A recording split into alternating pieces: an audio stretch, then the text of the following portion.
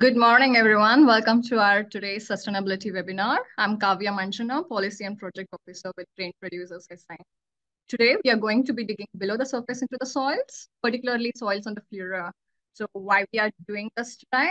Well, we know that sustainability underpins everything that we do as a grain industry. And with that in mind, GPSA received a grant from the Hills and Fleurieu Landscape Board for its Grassroots Grants Program 2022-2023. Uh, well, uh, we hope this webinar will support the grain growers and mixed farmers in the Fleurieu region by equipping them with essential skills in data management, mapping, and interpretation.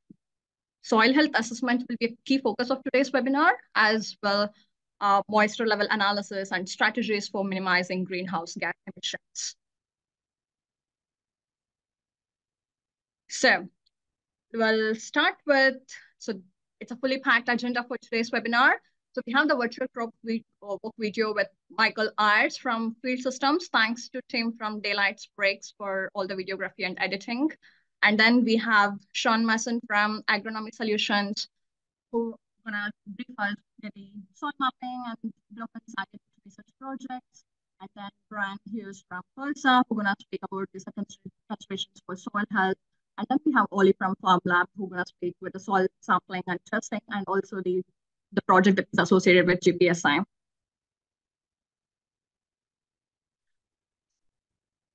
We'll save all the questions until the final session. If you do have any questions during each presentation, please make sure you pop it in the Q&A uh, box below when you think of it. We'll collect all questions and put them to our speakers later on. Uh, you won't have the opportunity to turn on your mic on and ask the questions live. So please make sure you use the Q&A box which you will see at the bottom of your screen. And a reminder that we are after questions we can all learn from and not the statements. We are now going to hear from Michael Hart, who is going to take us on a virtual crop walk and soil pit dig at James Stacey's Langhorne Creek property.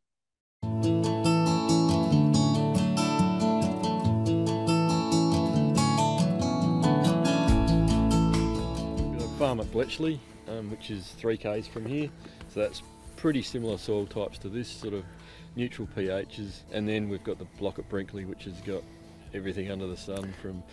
Yeah, that's your tiger country. Yeah, brown, sort of um, limestoney country to white beach sand to grey sand to some red dirt on that as well. So there's some pretty. Is that block there? I, mean, I sort of know on that main road. That's where. So, is there much salt feeding in from the west on that side yeah, into that? So it that yeah, have salt sort of yeah, marshes okay. on it, um, and yeah, you get that influence because obviously Ferries McDonald National Park's above yeah. it, and then there's some cleared land with the white sand, and the sort of water comes through that pretty quickly. Like yeah. Last year with the wetter year, like we had some water coming out the bottom of the white sand hills into those salt pans. It was amazing. You'd get once it was really wet, you'd get yeah. a good rainfall event, and there'd be water coming out the bottom of them. So, yeah, it's that's a different environment completely to so here. You've put manures on that there, haven't you? Yeah, like chicken yeah. manure and things like Yeah, that, and yeah. compost, and Yeah. you're obviously sitting right next to Pete's. Yeah, no, um, the chicken manures come from the chicken sheds over at Monarto. Yeah, so we're trying to improve those soils by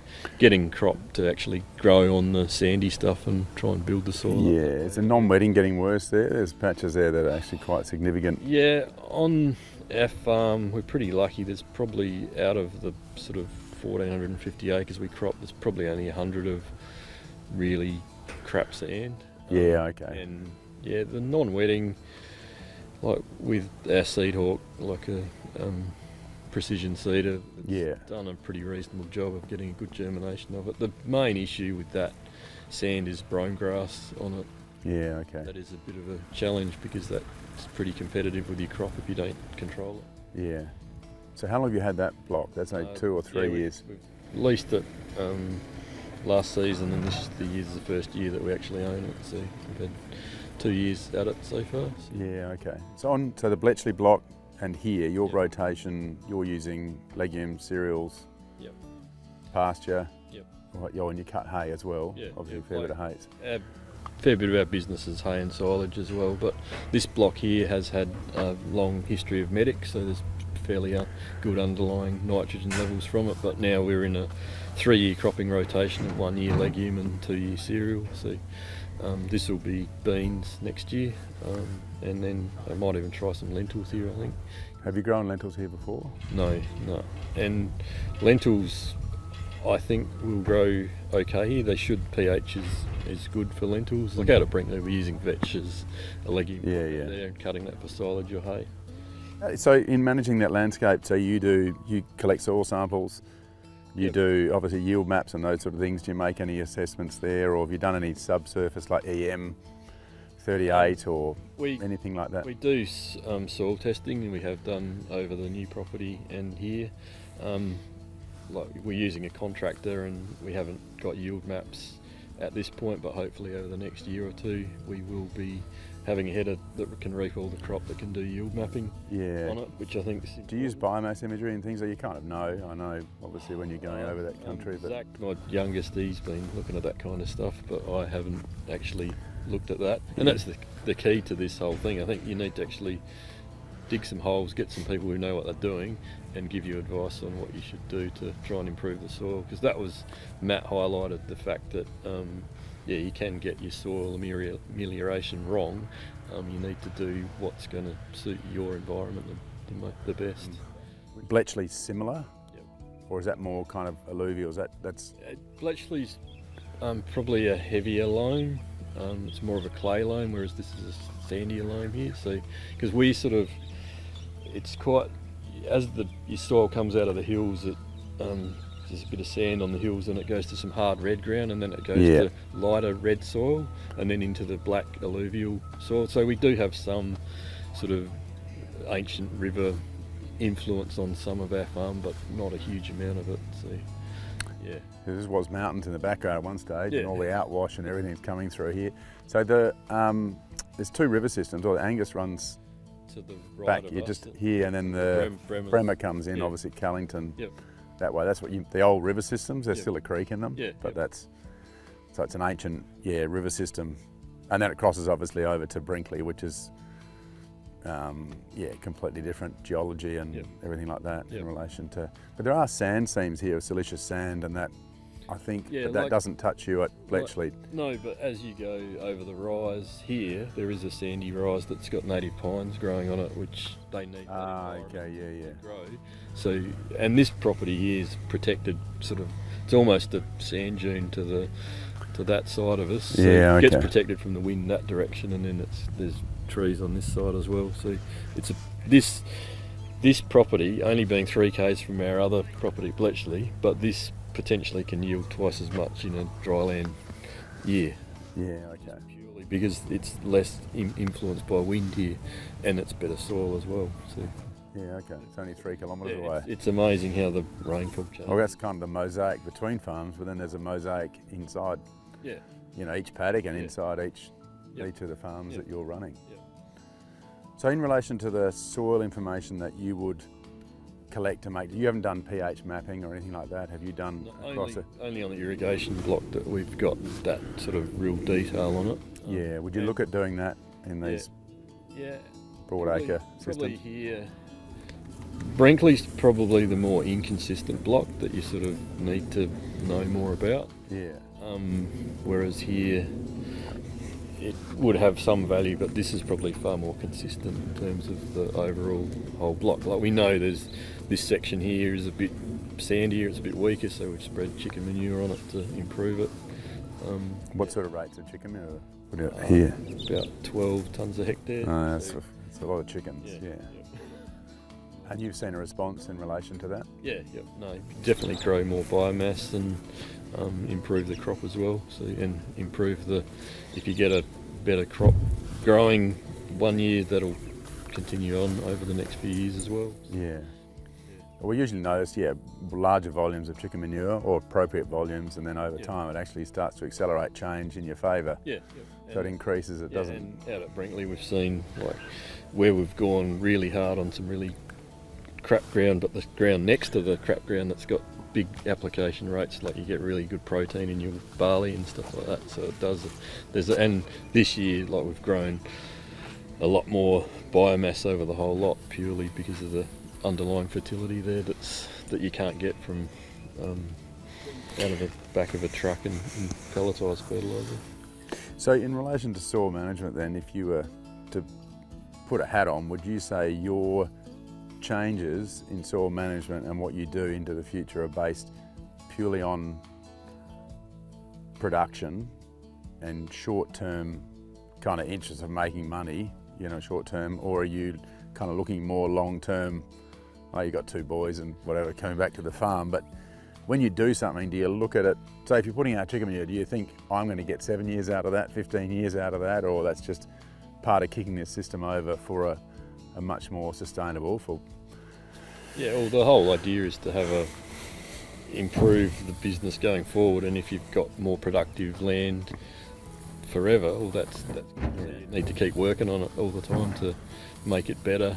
Um, as time progresses, it, you want it to keep improving, like because there's like the value of land's not going down, it's going up. So you need to get the most out of what you've got. Yeah, because sometimes it's hard when you talk about doing different things and people look short term in soils and say, I just want a response now and Yeah, those sort and of things. And like- sometimes, Like you look at a, like a sand blowout and you go and put 20 tons a hectare of chicken shit on it, like that's not necessarily a terribly viable thing to be doing in terms of what you'll get back off it in the next one or two years. Yeah. But if you are improving it for the long term, well then it, it can generate you money back because it is expensive. Like um, to do things to improve the soil can be very expensive, like soil amelioration, deep ripping, and stuff like that can cost a lot per hectare.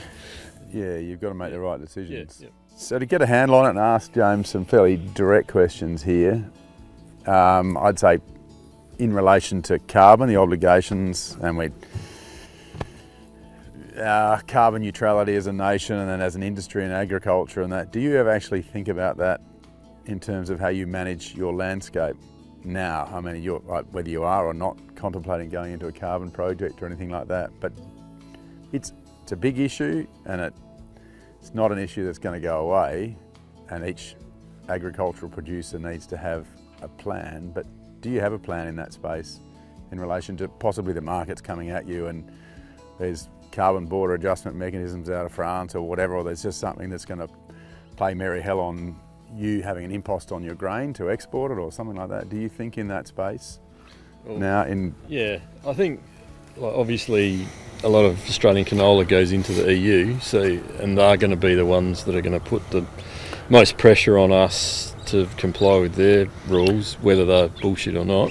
Yeah. That's just how it is. Um, as a farmer, I look at the carbon farming stuff and go like, I don't know what impact, what requirements are going to be on our business down the track. So there's no way that I'm going to be involved in a program to sell any of my carbon that potentially I'm Gonna have to use, yeah. Because like, and realistically, in a cropping system, to actually store more carbon in Australia's been proven so far to be fairly challenging. So realistically, the only option we'll, we'll have is is through vegetation and and reducing our emissions on our irrigation and on our fuel. So um, like on our irrigated lucerne, we've put um, got 30 kilowatts of solar, and we'll probably put another 50 kilowatts of solar in Ah, to okay. reduce our our carbon impact there. But in reality, the um, the carbon in our cropping system, like we could potentially do some revegetation on some properties and store Mm. carbon that way. But yeah, like I'm aware that we might be having to account for it, and and that's why I don't think any farmers should be selling any carbon because you might need it for your own business down the track. you may have to buy it back Yeah. in order to And- meet those and- and obligations. If you've signed a contract at 25 bucks a ton and you're buying it back at 150, you'll, that doesn't make much sense. No. And there may not be lenience in that space over time, and there may. But I just say, from my perspective, a soil's perspective, carbon is immensely valuable in a soil. Yep. And so I know, say, at Brinkley, you're buying that land and you're putting the chicken manure and manures into that and carbon. And we do, second to the carbon trading system, have to engage with carbon as an as- asset, yep. and it's a key asset Yep. in our farming system, carbon to depth. So it's kind of a bonus if you were trading or accumulating carbon for the value you're explaining. We still need to be in that space.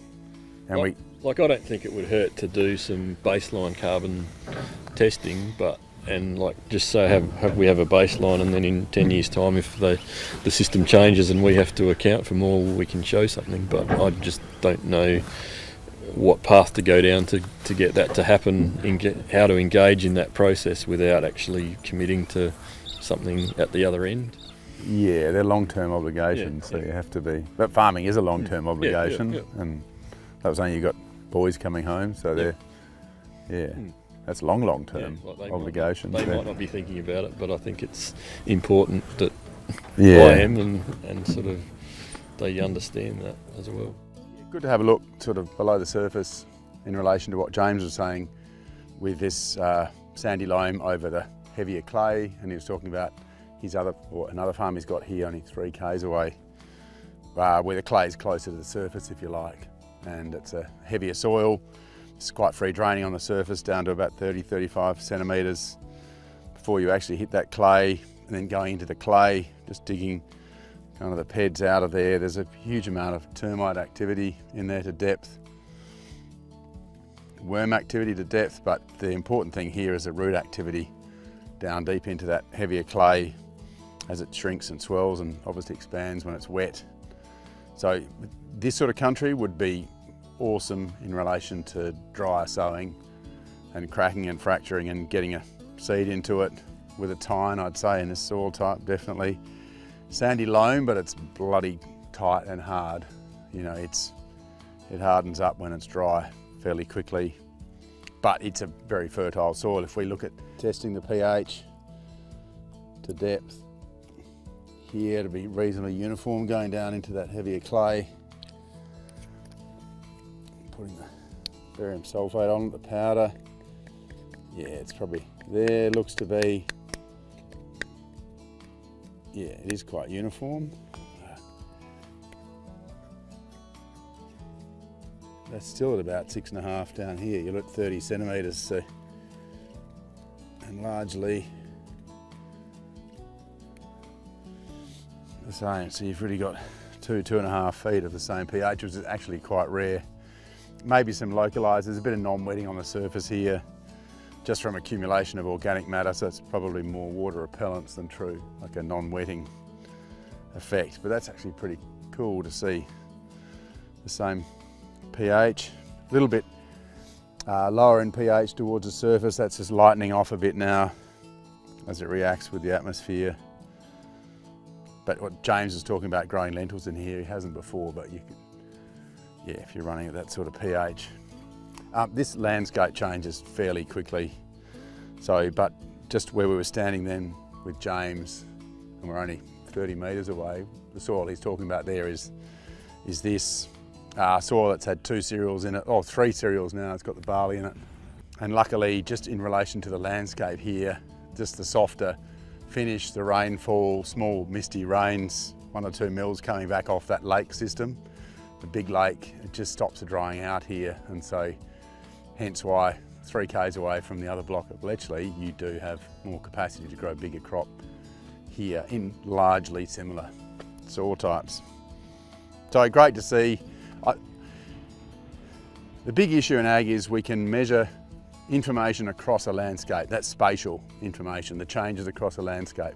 So many ways of doing that now.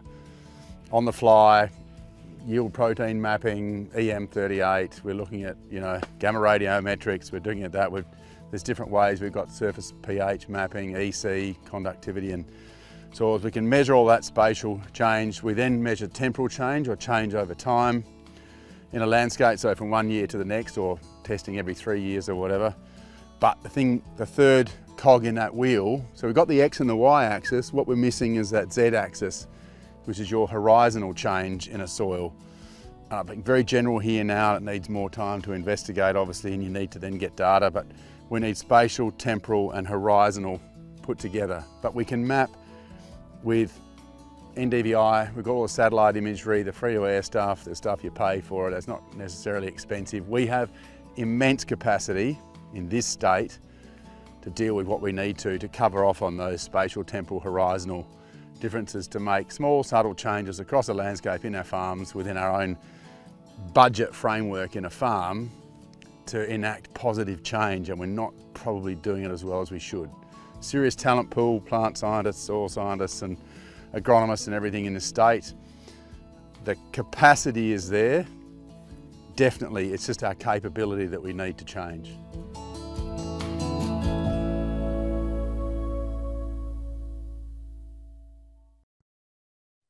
Thanks to Michael and James for showing us around there. Certainly plenty to think about. We move on now to Sean from Agronomy Solutions, who is going to give us an overview of soil mapping techniques. Thanks, Sean. Thank you, and thanks for the opportunity. I guess a nice segue there from Michael into uh, data layers uh, and I guess getting the most out of uh, our soil sampling programs and interpretation from the lab. Um, now, the next table, I was just going to start. These are my thoughts only. Um, always happy to hear feedback on my thoughts, but uh, I guess this is where we can start. Michael's listed all of these. These are data layers that um, have varying uh, skill level, I guess, um, costs associated with that, and yeah, obviously resources. So I was just going to walk through very quickly an example of all these and how we can actually get um, using these data layers to get a really good soil preseason um, sampling program and matching that um, with those zones in in matching the soils with the plants. So um, we can get those mechanisms together.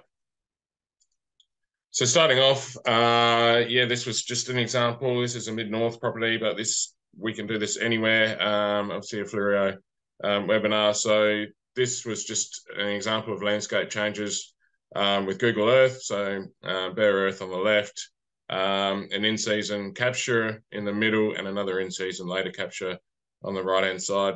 Uh, just hugely powerful for me, um, looking at how those soil types, um, Michael talked about the horizon um, changes, but at the surface, actually looking at uh, different soil types and how the actual crops are behaving if you can get an in capture. But um, also good to sort of check amelioration processes as well, um, pre and post. So you can actually go back in time um, with Google Earth. Uh, it is quite powerful. So just as a really quick example of this property and what we were doing, uh, we were using this paddock, the triangle paddock, uh, for a site, um, a response trial.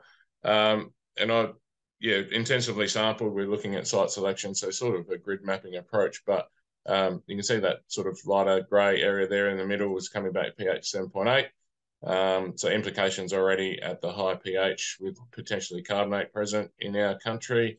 Um, again, in that next brightest spot, 7.8. So continued uh, soil type there we change, well, not even probably 100 meters down south uh, to the southwest. We've got a neutral, um, quite a good or a better, um, darker soil, but uh, the crop is actually performing better there at the pH. So obviously implications with nutrient interactions, and then again a couple of really good data or growth areas coming back at slightly acidic. So you can just see the spatial variation very quickly over a paddock um, using a Google Earth, so generating potentially some sampling zones already um, just from a very simple data lay. Another one Michael mentioned was NDVI. So um, various platforms of NDVI, um, some are free, and I tend to see that the free ones have got the spatial um, information enough to make zonal decisions. So um, this is just looking at an example of pairing Google Earth with NDVI. This was a paddock on Yorke Peninsula um, suffering from, well, acidity and alkalinity, I guess. So um, just that Google Earth image in the middle, we've got um, our red, nice red productive line um, down that southern portion, central portion, and also to the east of this paddock. Um, and hopefully you can see very quickly there's a couple of those grey patches already popping out um, towards the northwest of this paddock. So again, looking at a couple of zones, um, this was actually a paddock located by Brian Hughes, who you'll hear about, um, and checking sort of line responses. So that actual, um, yeah, red line with been productive agricultural practices has driven acidity.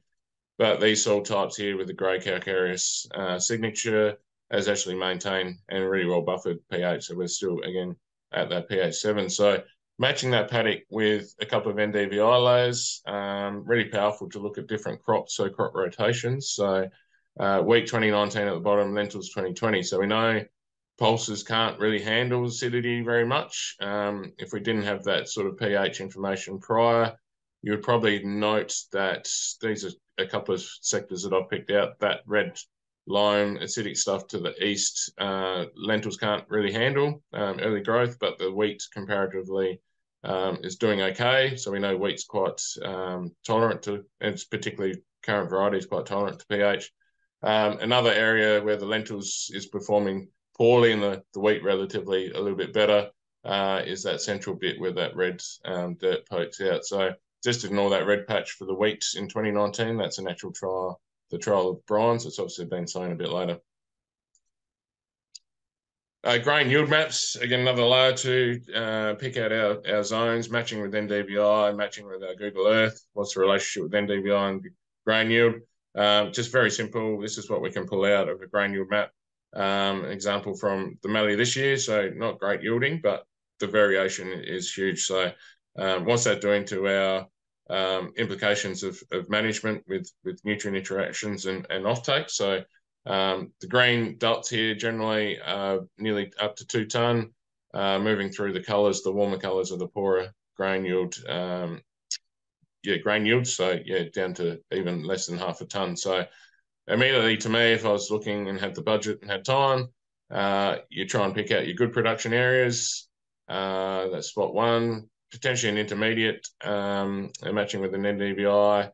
Zone two, um, very very important to pick out your your poor um, performing parts of the paddock. So um, for me, can we actually fix this economically? Is it as a nutrient deficiency that we can actually um, get a handle of, or is it actually a soil constraint that that is really hard, subsoil constraint that's really hard to to actually manage and, and it's going to cost too much, so feed less, I guess. Um, so very important. And again, comparing good two good production areas um, with 0.4, and then you know, obviously going a bit nuts. But um, again, another poor performing central part of the paddock and maybe an intermediate one along that same run line. So um, immediately we got six, which is probably um, enough, but that sort of spatial information across there will show, hopefully give us a really good information on uh, soil sampling and manage, management into the future. Uh, importantly, grain yield maps uh, can be used for nutrient removals. So um, this is the just the generic rules of thumb of nutrient important nutrient removal. So this is kilogram per ton of grain for the ver various um, crop types. Um, so we can actually use a grain yield map to actually replace that with with that rule of thumb um, of nutrient removal and um, I guess replacement packages are if you're on that system. I guess if we are on replacement and moving into VRT, these removals are going to be very, very different across this paddock. Um, it's not uncommon to get this variation. So just an example for this year, um, that sort of two tonne per hectare, we're removing up to 45 kilograms of nitrogen, six kilograms of P. If we move to the poor performing areas, again, really important to define why it's uh, performing poorly, but that's gone down to 10 units of nitrogen and uh, less than two, uh, two kilos of P. So very much different offtake off our paddock. So how do we actually manage that? What's that done with residual nutrient levels? So a couple of uh, resources moving into the future. Our, our, headers are improving with technology and we're being able to start looking at grain uh, protein maps. Uh, so uh, this is acknowledgement Ed Scott um, from GRDC Updates. Um, some neat example of actually matching um, protein levels off our paddocks with uh, soil sampling. So this is a site from New South Wales. Um, variation of protein on the left. So we've got sort of in the 12s to even 13s on the northwest corner, um, down to about 10 uh, percent proteins in, in that bottom right section. So um, going in the next prior to the next season to in March 2020, um, deep soil profiling nitrogen um, matched pretty nicely the, the variation of protein. So where we had the higher proteins, we had the higher nitrogen supply, um, profile N, um, and effectively that bottom section had low proteins but low profile N. So immediately that's signaling uh, we've got a poor efficiency area, so high profile nitrogen, um, high protein, potentially lower yields. What's driving that?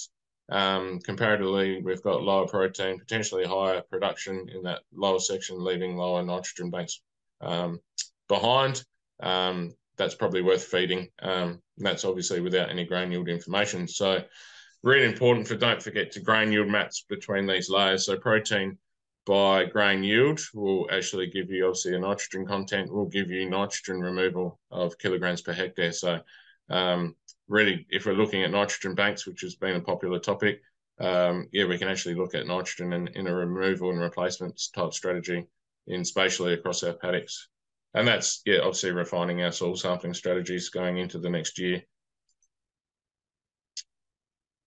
This was another, uh, Michael mentioned EM38. So Pete is big in this space uh, based on Yorks. Uh, so Pete's segregated, this is a paddock example um, on Yorke Peninsula of segregating conductivity uh, from an EM38 survey into seven classes. So um, quite um, detailed zones there. Essentially, um, I'll keep it brief for this this talk, but low conductivity will will mean that you've naturally got sandy soil types. Uh, higher conductivity will lend to heavier soil types, clays, and potentially some constraints. So um, this is just an example of setting up zones with, I guess, port plant available water, um, worthy of zones to investigate through soil probing, um, and just how they behave through different seasons. So way back in 2003, um, we've got yeah a barley crop with a nice sort of even October rainfall, 45 mil.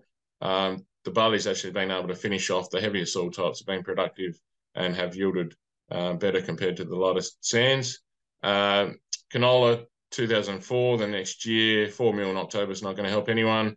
You can see the heavier soils crashing um, in, in that important October period, and the sands have actually managed to hang on a little bit more and yield better. So um, important considerations for plant available water and obviously, I guess, nitrogen, but all nutrient um, interactions.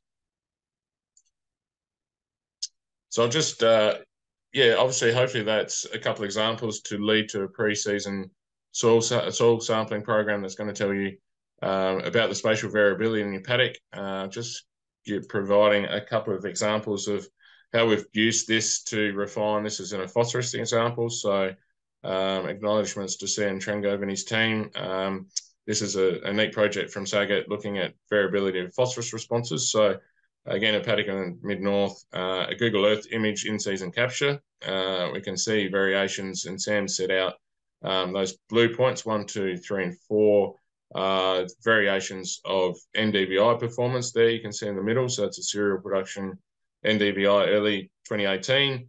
Um, one and two is poor performing, warmer colours. Three and four, four is neutral, and three is highly productive. So um, Sam's gone around with his Veris machine, and those points on the right hand side, you can't quite see one and two, but they're in the alkaline area. So um, might think acidity might be driving poor production in this example, and many others um, around the place that the, the actual alkalinity is driving um, early um, poor NDVI captures. So and three and four is actually uh, sort of neutral to acidic, but they're doing really, really well in a cereal phase. Um, if we were to go across, I've just point those white markers, one, two, three, four. There's a gate down the bottom um, of that paddock to another gate on the long side, which is probably a traditional soil sampling program. What actually happens if we collect those cores and amalgamate them as, as per what we normally do? Um, there's another gate in the northern sector. Maybe we might drive along there. What sort of impact does that give um, to, I guess, diluting out this spatial um, variability across this paddock? And again, looking looking at those lines on the on the soil pH, we've got a mixture of acidity into alkalinity. We probably get a pretty good amalgamation in saying this soil's quite neutral, so no real impacts to be had. Um, and if we went to that further that northern sector, we're probably capturing a lot more of that acidity. So maybe that's telling us that we might need lime, whereas um, half of that paddock probably doesn't. So this was a P example. Uh, Sam threw in four replicated phosphorus response trials. Um, and these were, there's partial gross margins in behind this, um, but for this talk I simplified it and obviously P response trials. Those points one and two in the alkaline sectors um, with residual P from uh, uniform previous applications. Uh, but effectively that soil type's driving low P. So Colwell P in the 20s, low for that corresponding quite high PBI in the hundreds.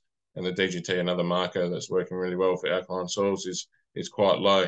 If we action on these two zones alone and maximize yields with P, we're actually getting a benefit of $70 per hectare. Um, like I said, if we were acted on points three and four, actually um, slightly acidic. The the P reserves are really, really good. The fixation um, allowing those P reserves is lower. Um, both Colwell P and DGT saying they're sufficient. So we could actually cut back on P if the budgets uh, allowed or were, was was difficult. Um, and if we actually had this information and lowered our P rates, we could actually um, have some fertilizer savings about five to ten dollars per hectare. So, but again, like I mentioned, if we did a transect and merged all these zones, um, we quite come back as quite a nice neutral pH. Uh, P's in Colwell P 39 is pretty good. PBI is um, less than 100, um, so we diluted out those high and lows. Um, and DGT is not bad, so we probably go okay. Our P is not too bad, and we've missed out those very P deficient zones of of one and two. So hopefully that's an indication of um, or an example of how important it is to pick up these spatial, spatially different performing areas. Uh, just some visuals. Uh, again, Sam's done a whole lot of these. I think we're up to nearly uh, 50 individual trials across uh, various paddocks looking at spatial variability of P. This is just another neat example of, of and quite a um, big variation within a paddock. Uh, barley up near Crystal Brook, uh, again, those lower, that lower part of this paddock, uh, poor NDVI, bare earth, um, not performing, got alkaline patches. Um, just looking at point, that top photo of that field trial is a P response in that lower part, so that poor performing um, previous um, NDVI map. And the bottom right hand corner is point D, which we're moving into um, good country and good NDVI signatures. And effectively, we couldn't see a P response um, compared to nils. So obviously, we don't go out with nils, but our yield benefits um, above replacement are up to up to one ton, one and a half ton, and from the nil was two ton in that responsive area. So again, uh, actioning that in this um, pretty good grain price season, um, the return was three hundred dollars a hectare, which was quite impressive. And again, um, just moving up to that northern uh, middle section of the paddock, we've we've got basically a yield increase of zero. So if we're in there, we knew P reserves were good, we could action on it, and the potential re return was seventy dollars per hectare of MAP savings um, by cutting down on um, normal district practice rates. And I'll just finish with, I guess this is all about soil mapping and um, data collection. Grid mapping uh, is becoming popular, is popular. Um, I guess just some comments on, on zones versus grid sampling. Um, again, grid sampling, whether it's on a hectare or two hectare, I've done a 70 hectare paddock here as an example. Costs about 2,000 for a one hectare grid, a thousand for a two hectare grid, and a pretty limited uh, analysis package because we've got so many samples. So pH cations Colwell P is quite popular. Just some pros on my behalf. Uh, pros spatial information is high. Um, pH really good for for defining our where where we need to put our lime, and we've got some valuable cation information. The cons very rarely do we do a PBI with Colwell P, which is really really important. Surface samples we don't have a, well rarely do we have an indication of constraints, um, and obviously no nitrogen information. So moving on to using those data layers that I've just shown, and maybe for $2,000 uh, approximate pricing, we could do five zones and four depths or 10 zones by two depths. And that will give us profile and plant available water constraints, all nutrients. We're doing the full package. Um, some cons, I guess, um, debate around whether those five zones would be enough to actually quantify all those spatial um, differences within a paddock. But what grid sampling could do, um, and I think potentially what we could shift is start looking at adding a package, say a PBI, which is an inherent soil property, which we actually define because of that spatial information, greater spatial information, we could actually define um, these zonal, um, moving into a zonal um, sampling in the future so we can actually go back on those spots and accurately look at how our management or our action plan has actually moved our, our nutrient levels. Just a comment for me. And that was it for that section Thank you. So this was, uh, hopefully won't take up too much time, um, some a nice SAGIT funded project. It's on Yorke Peninsula, apologies, um, but I think it's applicable for definitely areas of Fleurieu um, and elsewhere. So um, this came from an acknowledgement to Sam Holmes and his team, Central Ag Solutions. This was a neat story of something, a visual we're seeing on the ground and quantifying what was actually happening. So um, as the title suggests, we're looking at on-row sowing benefits on Yorks. We can try and look at that elsewhere. I guess what are the drivers? So um, moving quickly into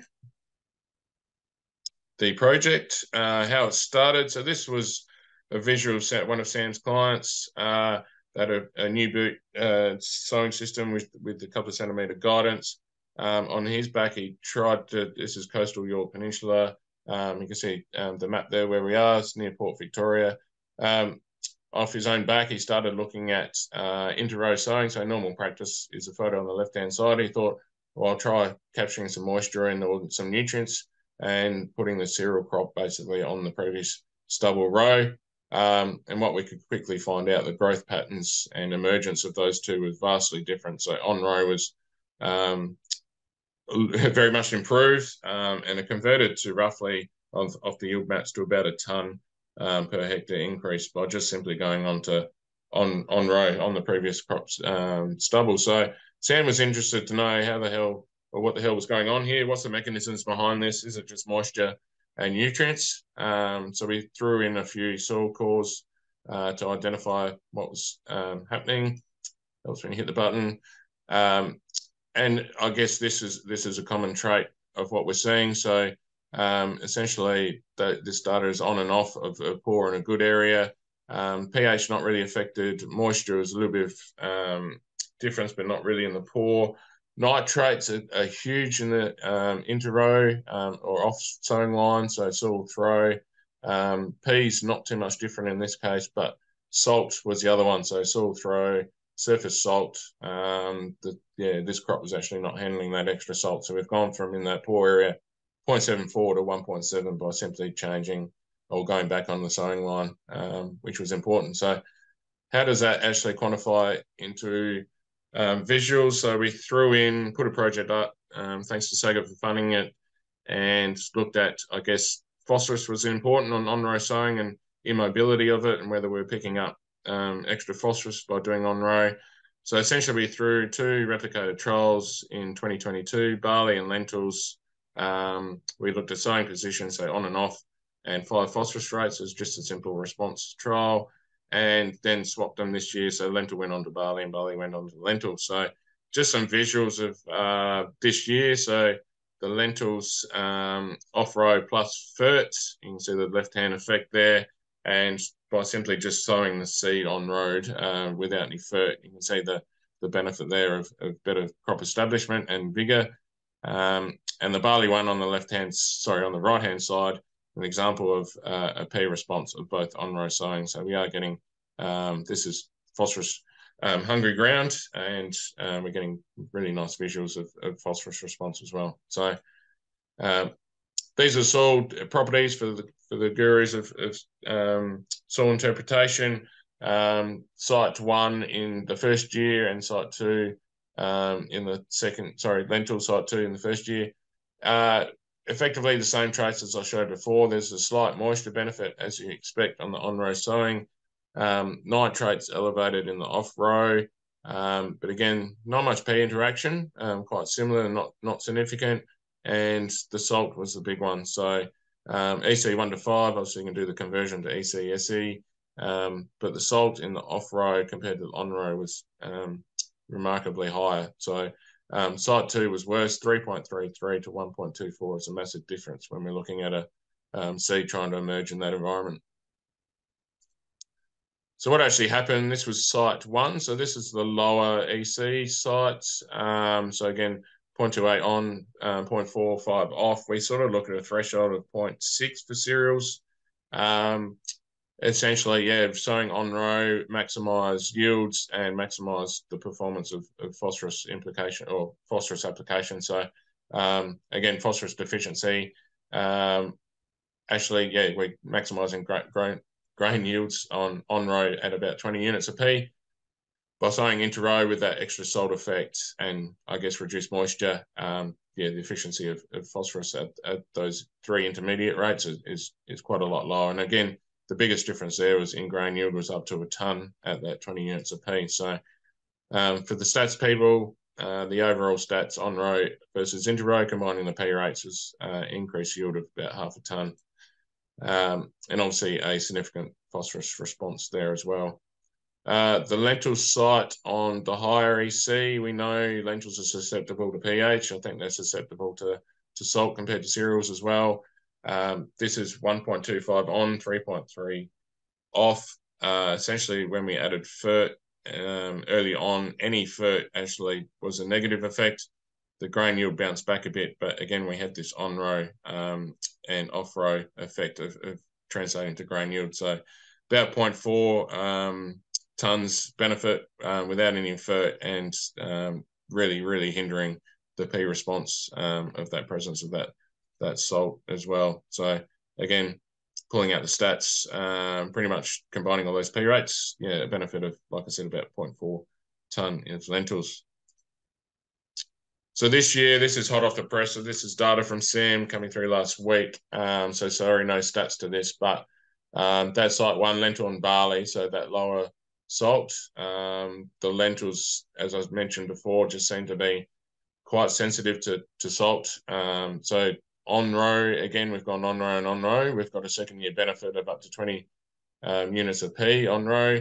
As soon as we added any type of FERT, so 10 units of P, we've started to crash the lentil system um, by that elevated salt in the off off row. So quite a few differences in in kilograms, um, or sorry, tons per hectare for that lentil again. So we've backed it up. Um, the barley on lentils, I remember the lentils crashed, um, but in this year that the barley potentially um, can handle a little bit more salt, uh, the higher salt site. So we're getting a nice, really nice P response.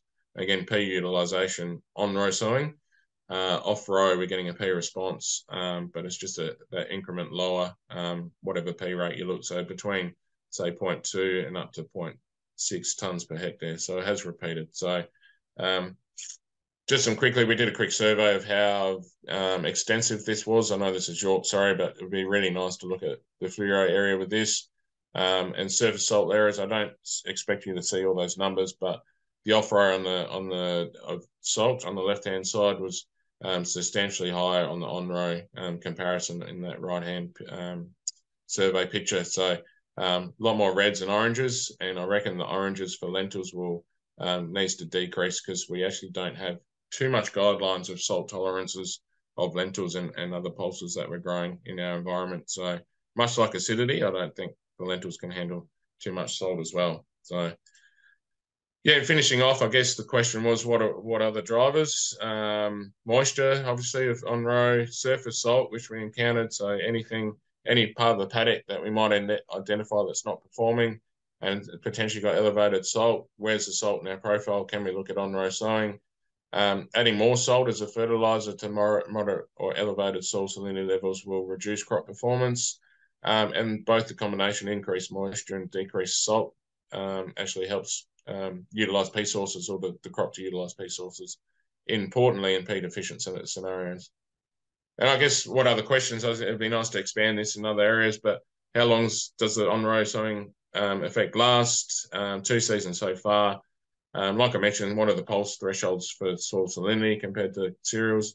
And I guess looking at fertilizer and the impact that had um, near the seed, what's the best management options for low P soils in a pulse cereal rotation on these soil types? So I'll leave it there and hopefully that was of some benefit. Thank you. Thanks, Sean. Some really interesting research happening there. We'll keep moving on to Brian Hughes from PIRSA, who is going to run through considerations for soil health in Fleurieu. Thanks, Brian.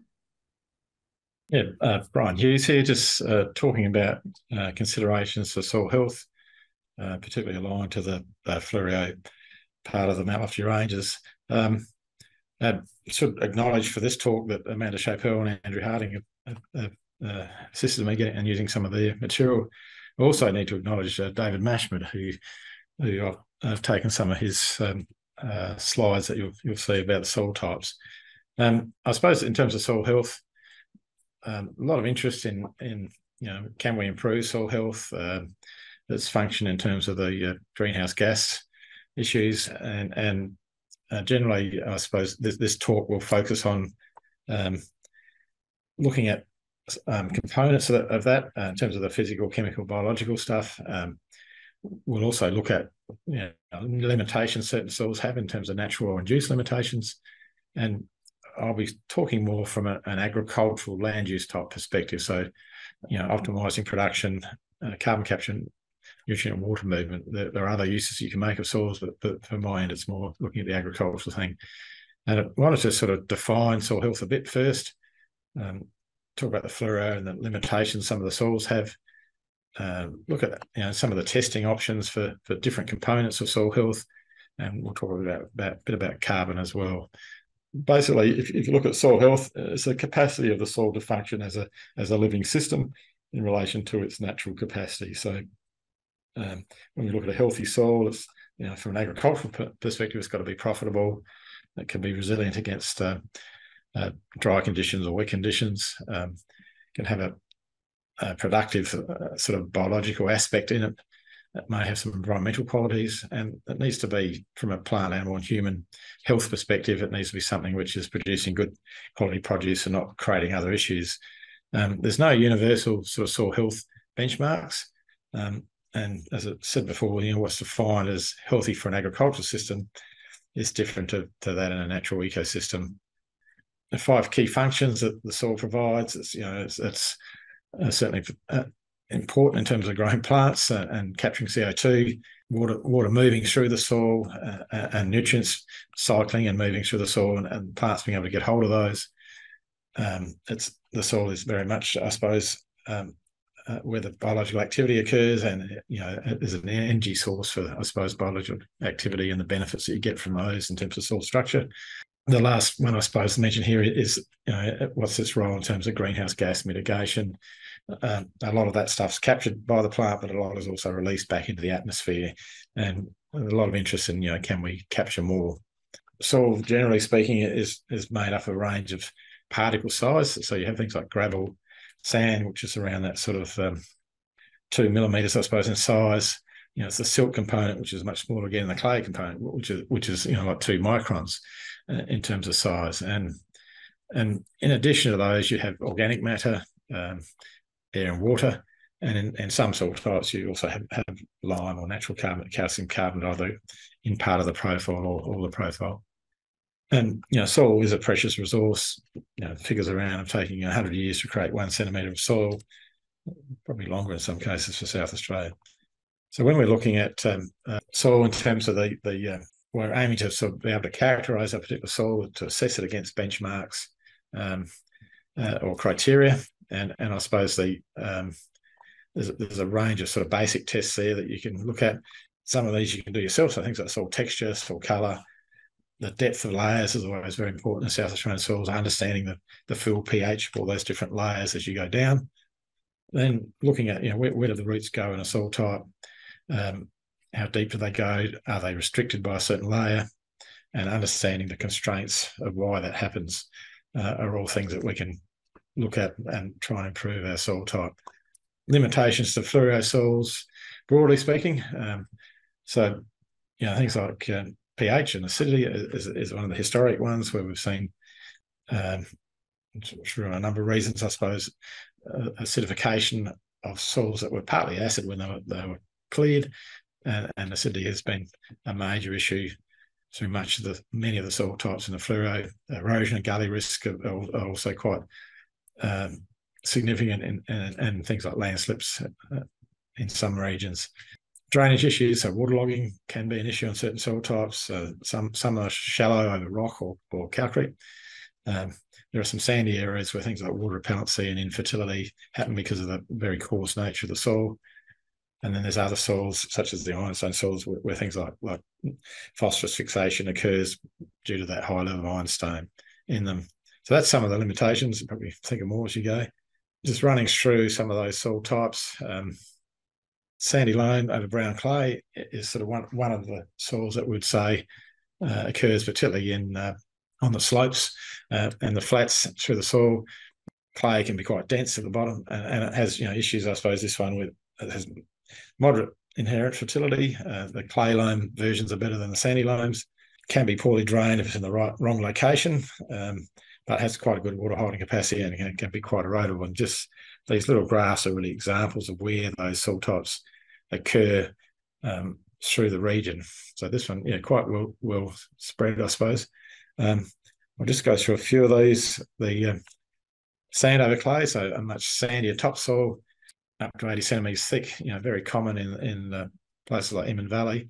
Um, and um, over a sort of sandy clay loam clay substrate can go through to sandstone around Mount Compass. You see some of the, these areas too, where, where it goes through to the, the sandstone underneath, up up in the rises.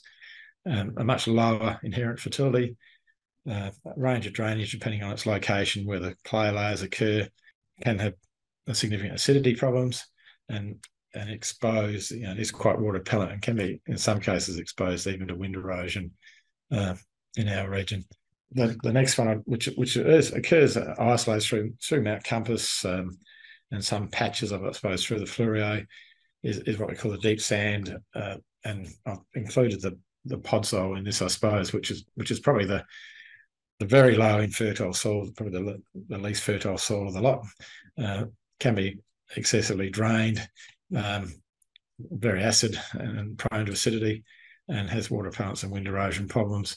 So it's a very thick deep sand, very bleached, and often you you can overlie sandy clay or, or, coffee rock or sandstone in some cases. Um, tends to occur on the flats or slopes, and uh, where it is, it's probably uh, uh, not that widespread, but certainly where it is, it is a very infertile soil, um, but an interesting one. That's the same. Um, ironstone soil, which very common in the in the uplands of the Parawa area, I suppose, the flat crests and the and the upper slopes and and sort of on on caps of the ridges, but also uh, has moved down the slopes a bit. So sandy loam to sandy clay loam surface, abundant ironstone gravel over a sort of yellowy brown clay, often get quite kaolinized clay at depth. While it's you know it's a reasonably good looking soil, there are issues with the fertility linked to the uh, presence of the ironstone gravel, which means that things like phosphorus get get um, uh, fixed into an insoluble form. Um, it's imperfectly drained, can, so drainage can be an issue, um, but yeah, has has quite a good water holding capacity.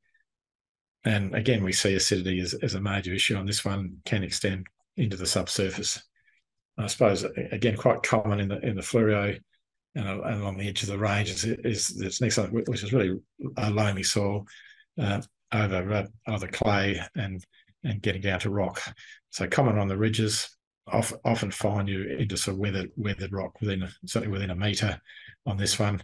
Um, quite a moderate fertility, um, reasonably well drained, quite high, high water holding capacity, and um, but again acidity can be an issue and it can be quite a, erodible and you know, when my days at Lenswood, this is a sort of soil they particularly like growing grapes and things, uh, grapes and uh, um, apples on.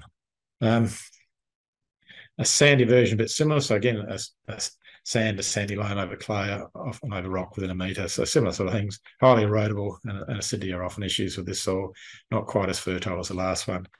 And then yeah, lots of shallow stuff around, I suppose, which you probably know some of the issues of that one. Um, wet soils are quite common through the Fleurieu as well, uh, and these these are um, prolonged waterlogging. Uh, can be marginally saline or, or, or, can can be more of a peat soil where, where it's accumulating organic matter. And, and these are a really high ecological value. These soils. There's a there's a lot of um, interest in whether you know things like peats whether, whether we can store more carbon in them you know, where they've been drained, they, they, they, get into production. But I think in most cases now, many of these areas have been fenced off into, into sort of natural swamps, very prone for, for, for gulling or stream bank erosion where they've been disturbed. And as I said, a potential sort of sink for carbon. And I think I'll probably flick through these other ones really are more linked to the Willunga and places like that. So, so some of the along, along, along the edge of the hills where they've got uh, calcareous bits through the profile this case is you know quite a heavy sort of loam over over limestone, and I suppose the uh, similar sort of uh, soils on the edges of the, uh, the, the western and, and uh, particularly northwestern side of the ranges where you've got lime in the profile um, over over rock, the deep sort of redder loams. Now these there are some of these in the in the sort of Yank sort of area down down in the uh, uh, the old glacial valley there, but sort of a loamy surface over red clay and some lime as you go down through the profile, prone to gully erosion, but you know, quite fertile and high water holding capacity. Cracking clays, again, common in some of the um, area, but also down through through Yank. high inherent fertility, can be quite sticky when wet, very high water holding capacity, uh, but are very susceptible to things like landslip and gulling on their um, slopes. And you know some of the examples of issues that I've raised. So, the high pH and low pH. So this this is a uh, graph by Truog where he talks about you know soils become more acidic. Things like uh, phosphorus, potassium, sulfur, calcium, magnesium, and the one that we particularly see, molybdenum, will become less available, uh, and you, you have these trace and other become uh, nutrient deficiencies occurring as, as soils become more alkaline. You, you know, copper, zinc, manganese, and iron are probably more more the things that you see as becoming deficient. Uh, landslip the Torrens Vale, um, dispersive clay. I'll talk a bit about dispersive clays as we go. You know, as put, put some soil in into some distilled water and just see how much I suppose the, the, the ped becomes milky. Um, so running through slight dispersion here, moderate dispersion, and then very high dispersion on the bottom on the right hand side there. And that's what happens in reality. That that clay disperses those bits of clay come out of the, the matrix and clog up all the pores. On the right is really a lime response in clover at the Waite, just showing even at the Waite Institute they ran into an acidity problem. So improving and testing soil health in the Fleurieu. So I've been through understanding the limitations, um, you know, whether they're economic to, to treat some of those. And we'll talk a bit about improving carbon and microbial activity as we go. So in terms of the soil health, you know, chemical, physical, and biological are those sort of components we always talk about. The chemical stuff really relates to the um, you know, source and sufficient nutrients for plants, the cation exchange, uh, what the pHs, you know, are the pHs in a healthy zone? Are there low toxicities? uh, of some of the other nutrients. The physical stuff is very much about the the structure of the soil. Can that structure allow air and water to move through it? Can roots can move through it? The biological stuff is really talking about, you know, have you got a, a diverse and, and active bi- biological component? Is there lots of a food source for that biology to work? Can, can you have these sort of disease suppressant type um, species occurring there that suppress some of the diseases? And and so, so initially I talked about you know optimizing the production of food or fiber, um, and if you're intending to sort of um, look at the, I suppose the um, a good healthy soil, one of the aspects that you know if you're optimizing food or production, uh, are you getting as much production out of it? Uh, is one of the measures you've got. So in terms of the yield, the dry matter, uh, the NDVI, you know the, the, the amount of livestock growing on that, these are all measures of how productive it is there are sort of yield potential models, particularly suited to cropping, but there, there are partial versions of those where you can compare your rainfall and, and just see where you're at in terms of the productive capacity. Um, the, the second bit there is really looking at the, the water uh, movement within that soil. You know, can we improve the soil structure for better infiltration and storage? Um, and there's some sort of simple methods of you're just looking at the soil structure itself. If it's nice little pea-sized shapes, you often have a good structure if it's coming out in big blocks of concrete, you know, you haven't. and so, you know, having a look at that, that size and arrangement, the stability of the aggregates, um, you can measure water infiltration uh, using, using a, a, basic infiltration ring, which is centered here, just seeing how quickly it goes in and comparing different soils. Or you can measure, you know, the strength of the soil and, and density of it. Um, so in this case, it's looking at the uh, fixed volume and, and, how much soil, what's the weight of that soil in there. You know, the heavier that that amount of soil is, the denser it is, the less pore, pores there are, and and you've got limitations. And, and above a certain level, roots don't like it too much. Um, on sandy soils, you, you, can also look at things like penetrometer resistance, um, pushing in penetrometers, measuring the, the strength of the soil as you go down. In this case here, you've got once once it gets over about 2,500, you, have got an issue with with the soil being too strong for root growth. Um, and an example of Yorke Peninsula here is just showing uh, responses to deep ripping, inclusion ripping, and spading. I suppose in, in a soil, a sandy soil.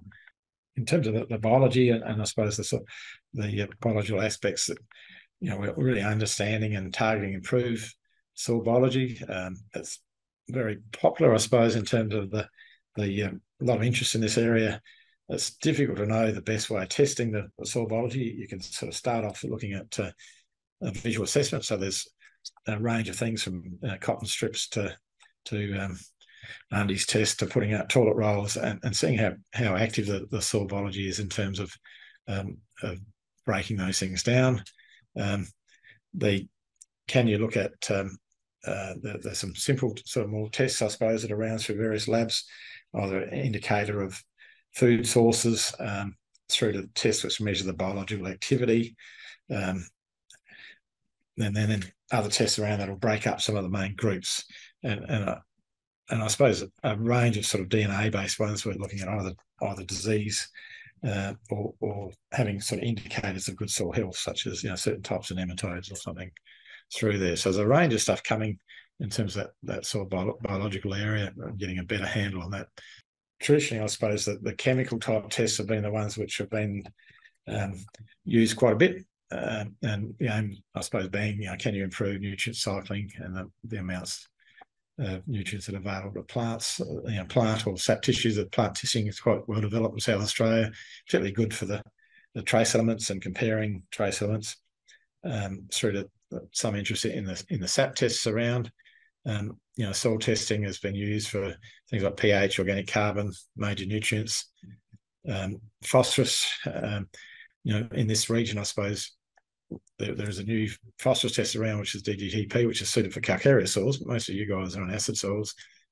But the thing that yeah, having a look at this PBI is, is, is a useful tool for you because it tells you how strong is that fixing ability of the of the uh, of the ironstone remnants in the soil. Um, exchangeable cations, the cation exchange tests give you an indication of how fertile the soil is. Um, soil testing for trace elements is probably less developed than the plant testing, but it gives you a bit of a feel.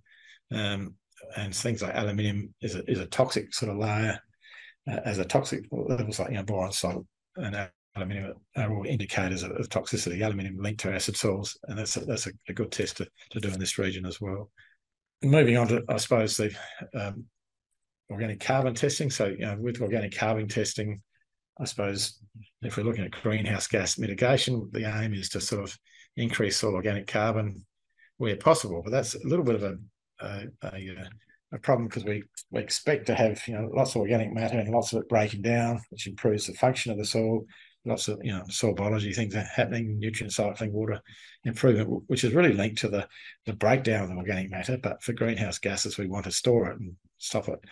So so in some ways, we're, we're trying to move some of that organic carbon to more stable forms, um, and and that's probably the challenge.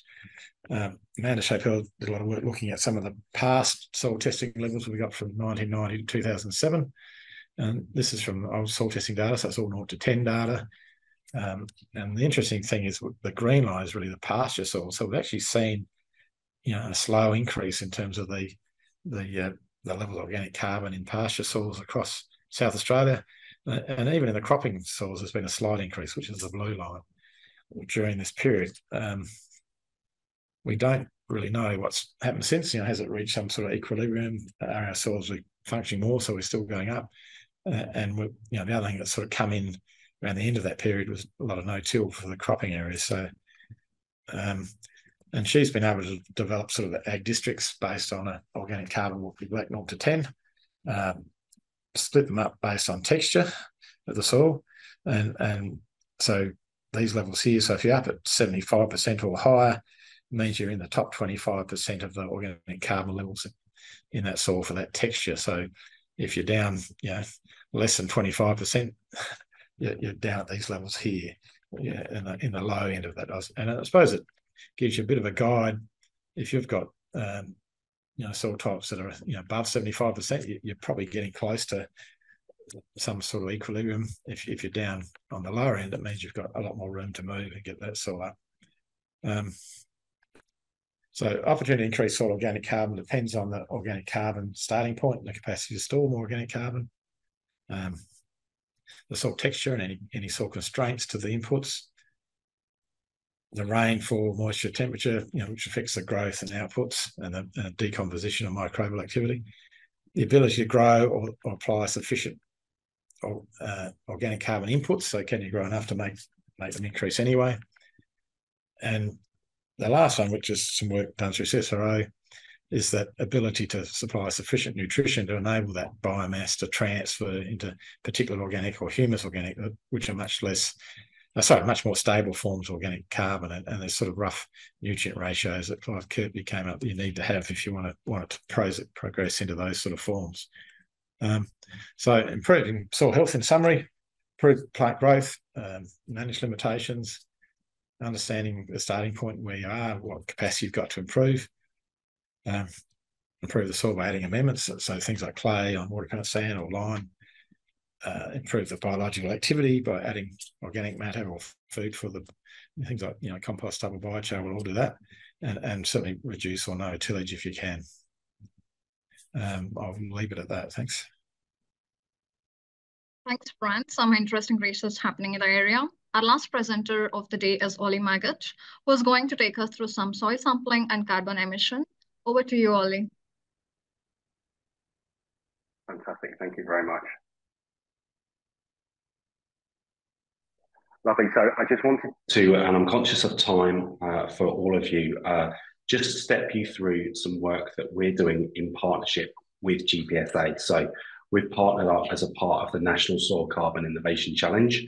So this is a, a, national challenge that's been set by the federal government off the back of the fact that you know currently it is prohibitively expensive for farmers in regions like the Fleurieu to baseline their soil carbon to the level that they could have real confidence in. So just as that previous presenter, sort of Brian was sharing about the, you know, the uh, variability um, of our soils down in the in the Fleurieu, if, if you were following the current methodology, which is here on the on the left, where you're just taking physical soil cores, and those soil cores um, are just uh, a minimum of 38 mil in diameter, and they only have to go down to 30 centimeters. Uh, at the moment, you know, the minimum requirement under the current methodology is that you take nine samples across three sampling areas. But your probability of you getting and uh, having confidence in those results is very low. So that's why people, if they're really wanting to rigorously baseline their farms, they have to take a significant amount of samples, which pushes that cost up towards that kind of could be up to $20 a hectare level. Um, and basically there's a realization that that isn't going to scale and we need to bring this cost right down to kind of $3 and less per hectare in order for it actually to make you know commercial sense for producers as we're increasingly going to be asked to provide things like our, our, our stocks of our carbon that we're storing in our soils and in our trees. So in soils, we're, we're not trying to advocate to get rid of physical soil sampling, but what we're doing is we are using physical soil samples to help localize a computer model of soil carbon. But that model is fixed against where we do have known data. And the work that we're doing is simply to reduce the density of sampling that's needed over time. So whereas you might need, you know, 30, 40 samples across a typical farm in the Fleurieu at the moment to rigorously baseline it, that might push the cost like $10,000 plus. Um, how can we get that down to still just using that minimum nine cores, but actually having confidence in those results? So what we have to do, this is very much a data-driven challenge. So we are out there um, working with actually ends up being 500 farmers uh, 20,000 soil samples, of which nearly 100 of those are going to be in South Australia.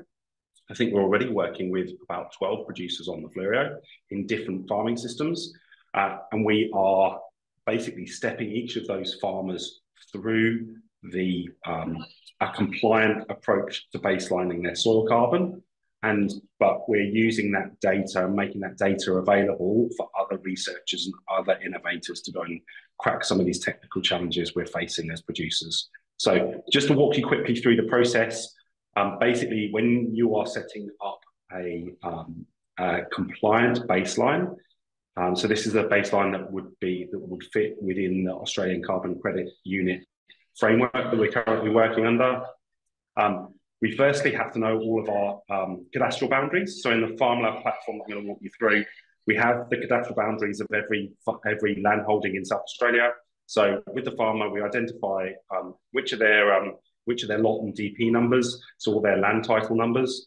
Uh, we identify those, and then we create carbon estimation areas within each of those cadastral boundaries. So this is where we're going to be basically uh, baselining soil carbon. We then go on a process of um, creating sampling re areas. And there's some tools that we have that can help to drive those areas. So we might use something like NDVI, um, which you know Sean would have touched on earlier, as something to help drive where we should divide up that carbon estimation area. There's another layer that we can fuse into that called topographical wetness index, which is how the water is going to move over the landscape and often is a good indicator of where higher and lower soil carbon levels will be. So we use these layers in our, in our computer system to basically divide it all up. We also just can modify that working with the landholder to kind of refine it all. And then there is a process that randomly then drops sampling points across that farm. And then we work with actually Amanda Schapel, who was mentioned in that last presentation, that PIRSA do a lot of our sampling here in South Australia. So they then get all of those points shared onto their phones and they navigate accurately to each of those points. Take a sample. Uh, on our projects, we either sample to 60 centimetres if we can get down that deep, or to uh, 100 centimetres. Uh, the minimum requirement for the methodology is that we, we get we can get a sample to 30 centimeters. So when those when those soil cores come up, we measure off the top 30 centimeters. That's our top 30. That's our top soil sample, and then from 30 centimeters down is our subsoil sample. And that all goes off to a lab. Often it's APAL labs.